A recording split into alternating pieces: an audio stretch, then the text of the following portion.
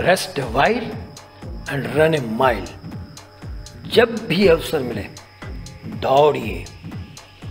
कुछ विश्राम कीजिए और फिर दौड़िए। यही जीवन है। Happy global running day